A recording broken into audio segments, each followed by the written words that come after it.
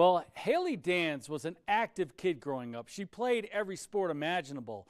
But when she was 12 years old, she was diagnosed with bone cancer.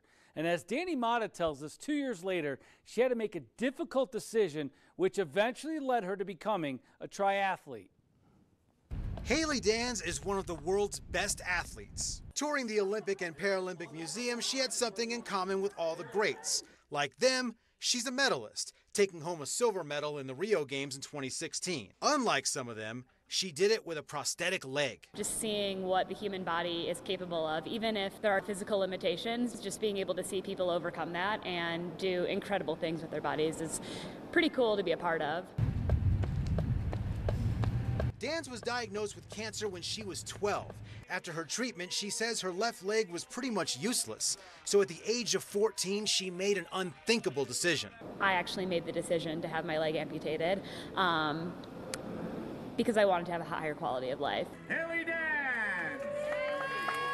and what she found was triathlon. Taking home the silver medal in the Paralympics, she became a role model for differently abled people around the world. It was athletes with prosthetics that I saw uh, that really inspired me. Knowing that there's kids out there now who are looking at me uh, as that person is, I mean, it's pretty incredible.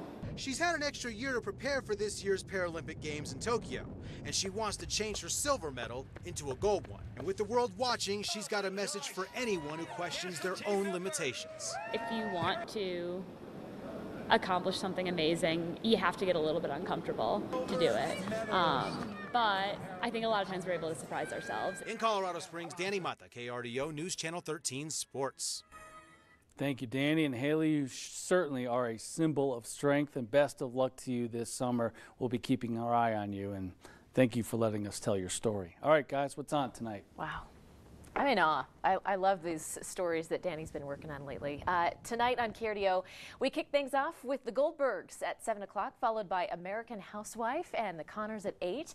Then at 9, the Con returns with an all-new look into the infamous Fyre Festival.